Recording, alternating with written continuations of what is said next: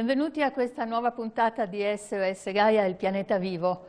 Oggi parliamo nuovamente di caccia selvaggia, quell'emendamento alla legge bilancio 2023 che stravolge la gestione faunistica italiana e che il WWF ha definito una pagina vergognosa per la tutela dell'ambiente in Italia.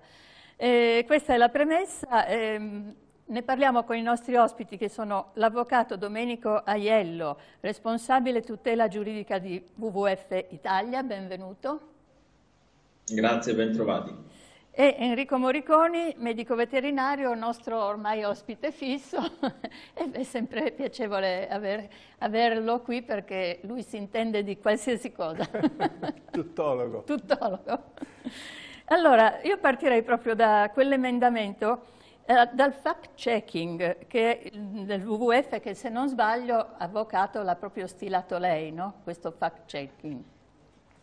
Sì, eh, me ne sono occupato anche io insieme a, a tutto diciamo, il team sia legale sia di conservazione del WWF Italia, eh, perché il ruolo del WWF è anche quello di informare certo. eh, la, la, collettività, anche quello di eh, far, eh, far, capire alla collettività, ai cittadini, eh, dove stanno eh, diciamo, le, le, cose, come stanno le cose. In particolare abbiamo notato, ci siamo sentiti in dovere di pubblicare questo, ehm, diciamo, questo lavoro oh, perché abbiamo notato una Uh, proliferazione diciamo incontrollata non mm. tanto di cinghiali quanto di fake news, sì, esatto. cioè di visioni distorte della realtà. Facciamo qualche esempio.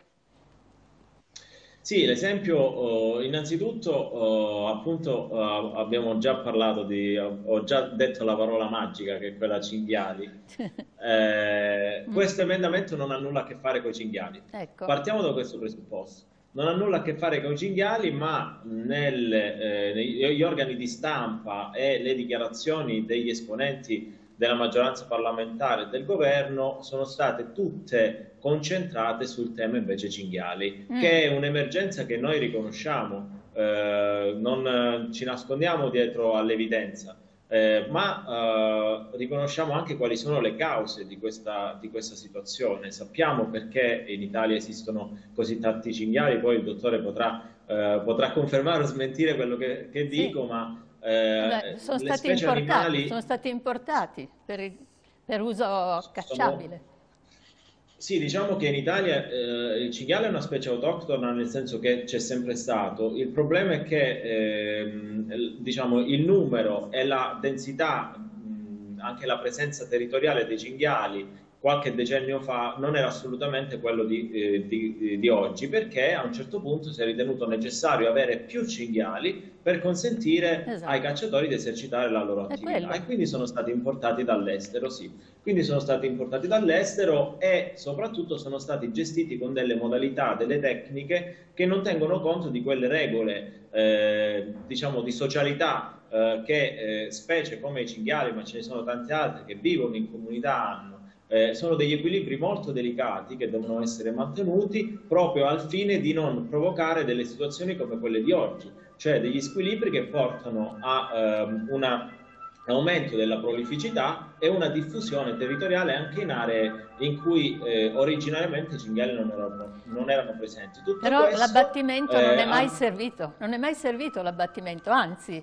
è stato una causa... Non è mai servito perché l'abbattimento non selettivo, come tra l'altro emerge dai dati che ISPRA, il, il soggetto diciamo, istituzionale e scientifico più importante sì. eh, in questi temi italiano, pubblico, eh, ha riportato e eh, questi dati fanno vedere come l'abbattimento esercitato in maniera non selettiva è affidato a soggetti eh, non istituzionali che quindi hanno una, un interesse opposto a quello di ridurre il numero di cinghiali, mm-hmm. avendoli essi stessi richiesti no? per, eh, per, esercitare la loro attività, eh, ha comportato questa situazione. Quindi abbiamo da un lato eh, un problema, eh, dall'altro lato oh, le ragioni che hanno causato il problema, poi abbiamo le cause che lo oh, hanno reso tale, quindi che aumentano questo problema e poi dovremmo avere la soluzione. In realtà, appunto, questa, uh, questa pseudo soluzione che è stata adottata da un punto di vista tecnico, giuridico,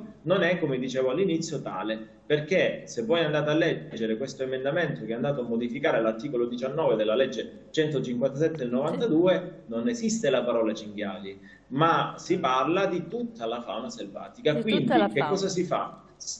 Si sfrutta eh, la, uh, il tema dei cinghiali, l'emergenza cinghiali, eh, per eh, aprire le porte eh, ai cacciatori, eh, di esercitare il controllo, che è una cosa diversa dalla caccia, dicendo esclusivamente che non si tratta di caccia, però la svolgono i cacciatori, muniti di licenza di caccia, quindi è solo formalmente non caccia, eh, svolta nei confronti, esercitata nei confronti di tutte le specie animali selvatiche, potenzialmente anche quelle oggi protette. Sappiamo, e vengo alla conclusione di questo mio primo intervento, qual è eh, la finalità certo. eh, reale, che è quella di cacciare specie protette come il lupo, che anche nel nostro esatto, territorio è esatto. soggetto a numerosi atti eh, di bracconaggio e eh, nei confronti del quale regnano pregiudizi eh, che sono alimentati anche da gran parte della politica, eh, finalizzati a, a, riaprire la caccia nei confronti di, uno che, di un competitore, perché il lupo esercita esatto. una caccia al cinghiale che invece Infatti, è selettiva. questo è l'ossimoro, è questo, cioè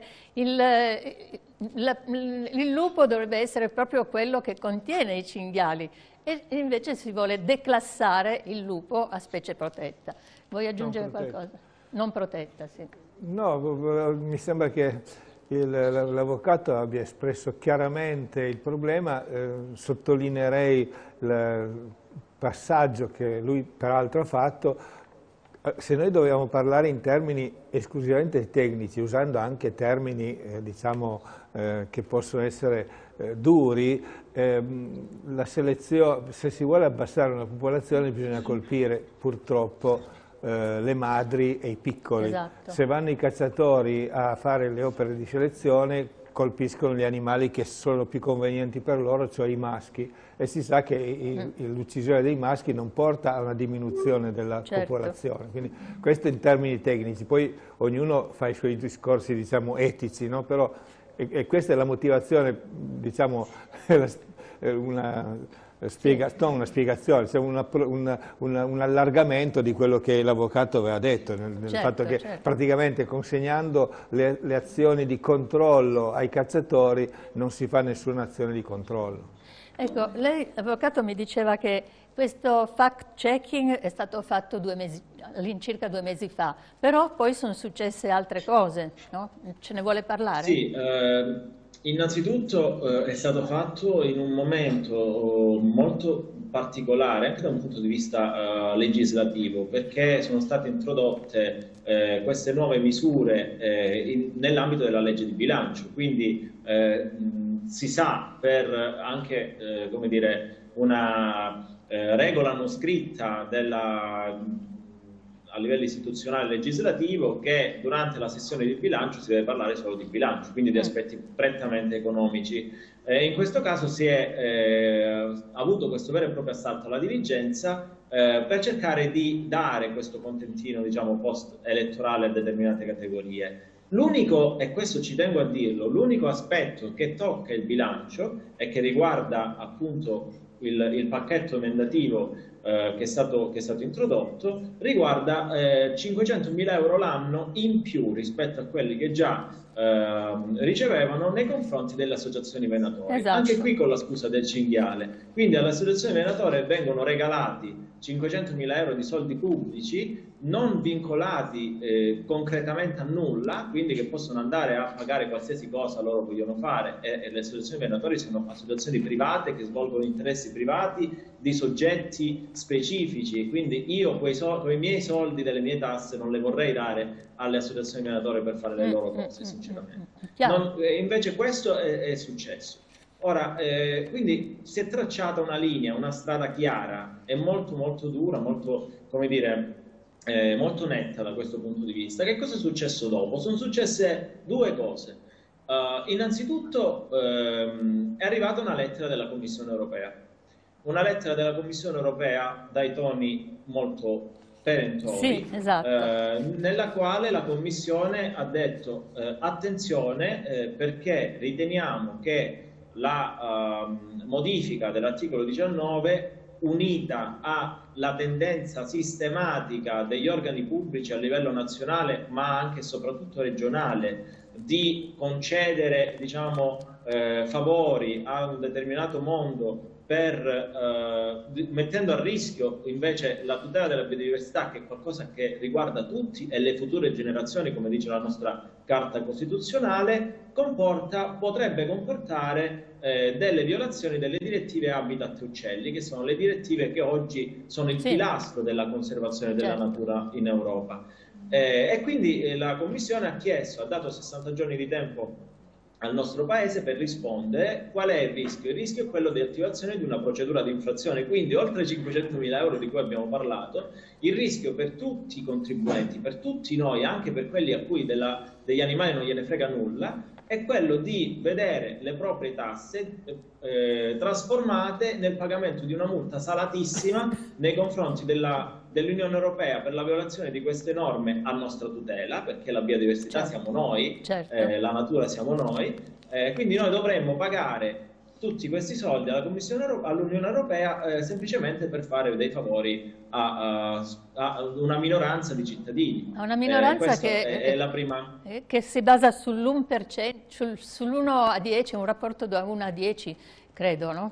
Per, Credo sì, che... è sicuramente una minoranza, si parla di circa 500.000 ormai cacciatori attivi in Italia. E la seconda cosa, e chiudo, che è successa, è altrettanto grave, eh, consiste nel recepimento, o meglio, eh, diciamo, recepimento in maniera atecnica, eh, utilizzo questo, questo, concetto, di un regolamento europeo che in teoria è auto, automatico, diciamo, applicabile direttamente nel nostro ordinamento, che riguarda l'utilizzo del piombo nelle munizioni sì, da esatto. caccia. Eh, che comporta tutta una serie di ripercussioni per la salute degli animali e anche degli uomini eh, e lì il regolamento ha parlato chiaro sulla base di una serie di studi scientifici che hanno a che fare proprio con l'avvelenamento degli animali e delle, delle persone, con i rischi. Chiaro. Quindi si vuole ridurre, per, per eh, migliorare la nostra tutela della nostra salute, si vuole ridurre, ridurre l'uso del piombo e invece il governo con una circolare interpretativa ha totalmente eh, disatteso questo regolamento anche qui perché ritiene che eh, i favori al mondo venatorio siano più importanti della salute certo, dei cittadini. Certo, è così.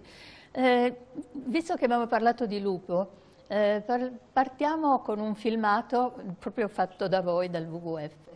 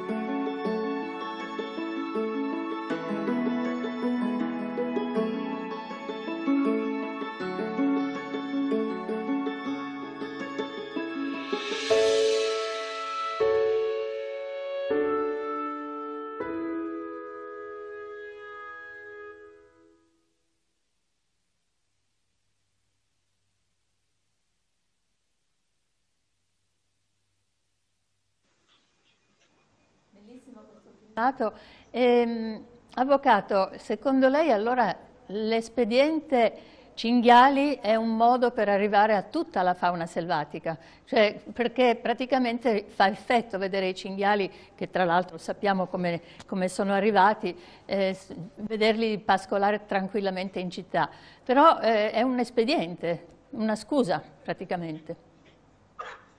Assolutamente, ma non lo dico io, eh, lo hanno detto i firmatari di questa proposta di legge di modifica, eh, hanno detto chiaramente noi non abbiamo scritto cinghiali perché il nostro obiettivo domani è quello di arrivare ad altre specie di fauna selvatica, perché eh, voi sapete bene, eh, ma lo dico anche a beneficio dei telespettatori, che ehm, la, una parte diciamo, dell'opinione pubblica di quel, di quel mondo là sì. ritiene che, esiste, che alcune specie animali siano di per sé delle specie cosiddette nocive, mm. cioè sono nocive solo perché esistono. Esatto. In realtà questa è una, una visione antiscientifica e ideologica che è finalizzata e ant- solo antropocentrica a... direi antropocentrica assolutamente. Perché antropocentrica? Perché poi si dice quelle specie sono nocive perché in realtà fanno il lavoro che vorrei fare io. cioè quelle specie servono, ogni specie ha collocato ovviamente ogni specie autoctona, collocata nel suo ecosistema, ha una funzione ben specifica, perché se così non fosse, quella specie non riuscirebbe ad autosostenersi. Certo. Quindi nel nostro caso eh, I lupi la, eh, eh,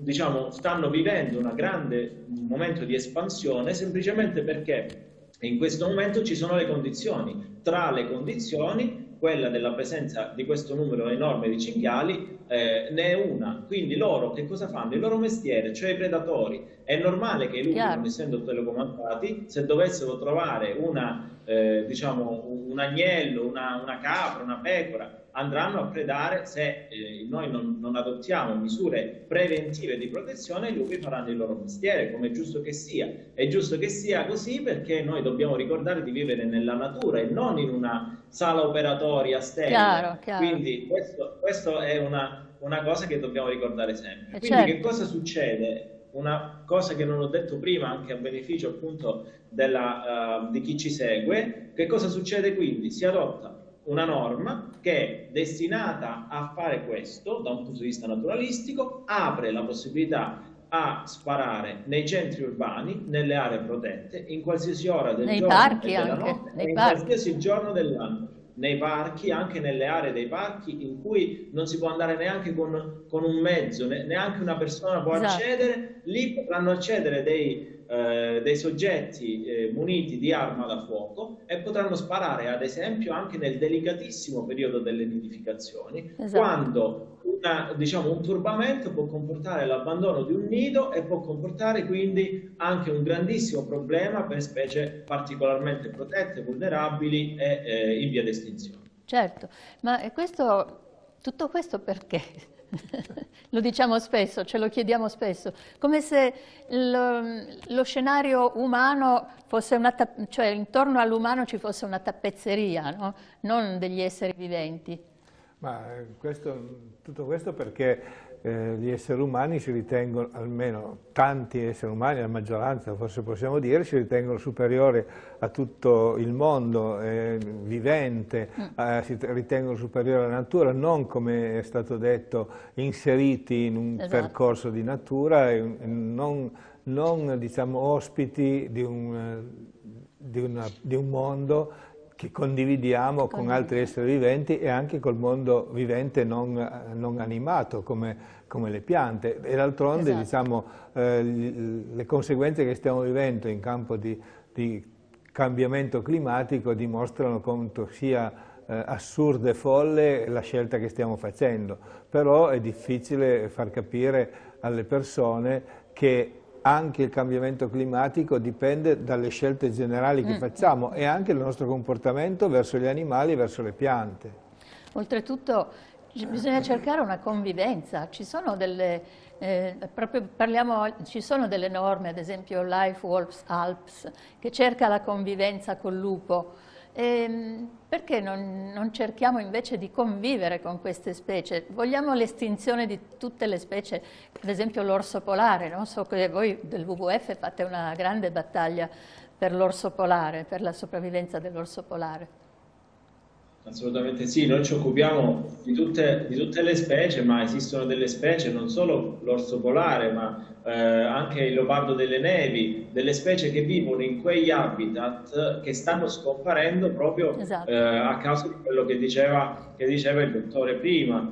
E, e quindi eh, esiste la possibilità di uscire da, da questo circolo vizioso? Sì, esiste nel momento in cui però eh, i nostri rappresentanti istituzionali decideranno, e non so se questo mai succederà, eh, di assumersi la loro responsabilità eh, di fronte eh, non solo a noi che siamo qui presenti, ma di fronte alle future generazioni, a coloro i quali dovranno venire dopo di noi e hanno il diritto di eh, vivere in una natura eh, in cui la biodiversità sia ricca, perché io sentivo l'altro giorno che si parlava Uh, mi pare in Cina, di creare dei, dei robot uh, che sostituiranno eh, gli insetti impollinatori, sì, le api, sì. eccetera, nella eh, fondamentale attività di impollinazione, ma perché invece non decidiamo di eh, ridurre i pesticidi in agricoltura che ci uccidono, che, che, di, di, ridurre eh, il consumo di suolo, il consumo di acqua che, che ci lascia eh, assetati, cioè eh, mh, tutto questo, il, lo sviluppo si può avere, ma si deve avere in maniera oculata, tenendo conto che le risorse del pianeta, compresa la biodiversità, non sono illimitate e non possono sopportare tutti i nostri capricci, capricci tra l'altro di 8 miliardi e passa di persone. Esatto, esatto. Quindi, siamo tantissimi, abbiamo tutti bisogno di vivere bene, di mangiare, di bere, eccetera, quindi dobbiamo capire in maniera oculata come farebbe un buon padre di famiglia quando deve sfamare i propri figli, eh, questo non andrebbe a cena tutte le sere dilapidando il patrimonio e consumando tutta la propria dispensa, ma eh, certo. centellinerebbe eh, l'utilizzo delle, delle, proprie risorse per garantire eh, che anche i propri figli possano avere un futuro. E la stessa cosa la dobbiamo fare noi. E invece il ministro Lollobrigida si scaglia contro la carne sintetica dicendo che è una schifezza e questo è il risultato che invece sarebbe un, un modo per superare gli allevamenti intensivi che tra l'altro sono la, una delle maggiori cause di inquinamento. E, ehm, purtroppo il tempo a nostra disposizione è terminato. Eh, vogliamo aggiungere qualcosa? No, che a, a chiosa di quanto ha detto l'avvocato mi sembra che si possa dire che eh, ha delineato una storia della decrescita esatto. eh, fruibile da tutti coloro Infatti. che vogliono ascoltare e che davvero il, il senso della decrescita di risparmiare mm. sulle risorse eh, sia quello, una speranza per il futuro. Esatto. Il nostro compito potrebbe essere quello di cercare di convincere sempre più gente a consumare meno mm, certo. e a certo. pensare di più ai propri consumi. Allora ringraziamo l'Avvocato Domenico Aiello, grazie di essere stato con noi. Ringraziamo, grazie a voi. Ringraziamo Enrico Moriconi, grazie. tutti voi che ci avete seguito e alla prossima. Grazie.